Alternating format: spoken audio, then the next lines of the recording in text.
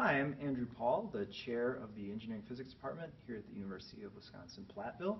I'm standing in one of our introductory physics classrooms today to talk to you about the physics of softball.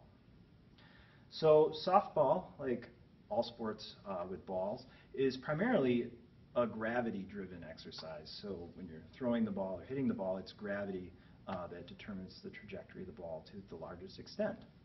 But another effect that cannot be ignored in most sports is air resistance.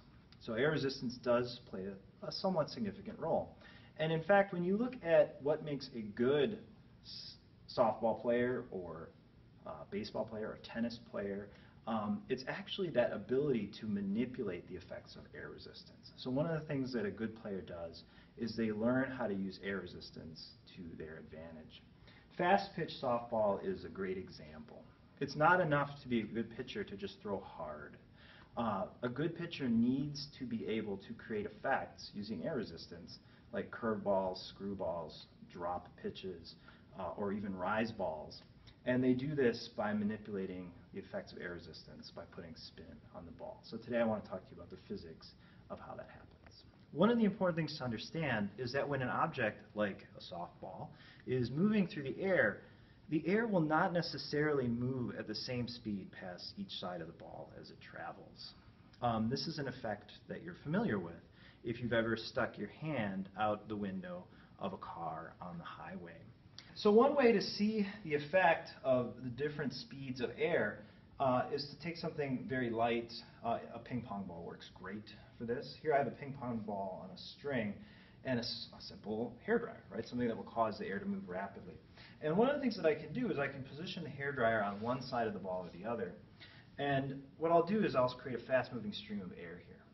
And what I want you to see as I do this demo in just a second is I want you to see that as I begin uh, blowing the fast air, the wiffle ball will tend to be pushed toward that fast stream of air by the slow air over here. So again, slow air tends to push harder than the fast moving air.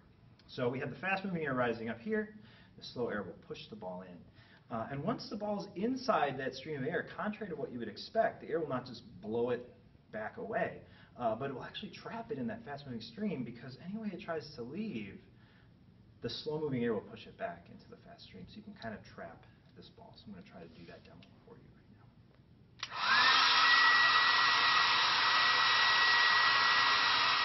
So how do we speed up or slow down the air? If the ball is spinning, what will happen is the side of the ball that's spinning away from you toward me will tend to speed the air that's flowing over that side of the ball. And at the same time, of course, the other side of the ball has to be spinning the opposite direction. The side that's spinning toward you and away from me will tend to be pushing against the air that's coming this way, and that will slow the air down.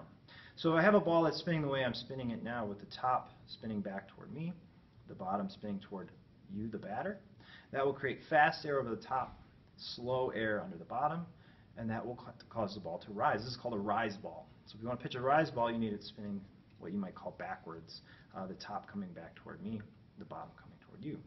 Uh, Conversely, if you allow the ball to roll off your hand as you pitch so that the top is spinning toward the batter and the bottom is spinning toward the pitcher, that will create a drop ball.